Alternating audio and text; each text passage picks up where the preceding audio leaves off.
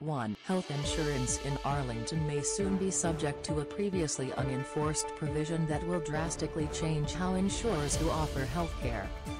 2. More information can be found at http colon insurance4dallas.com slash Arlington Health Insurance A big reason for this new rule is because the majority of P. 3. Anti-abortion groups argue that mixing payments for elective abortions with other healthcare services creates a situation where taxpayer money potentially 4. As a result, the current administration is doing what it can to right what it feels are serious wrongs with the ACA, according to Rick Thornton, an R5. It has become so bad that proponents of the off-maligned ACA have asked the state's highest court to make a definitive decision during the term that 6. Insurance for Dallas provides consumers with detailed information on health insurance with the ability to purchase health insurance online.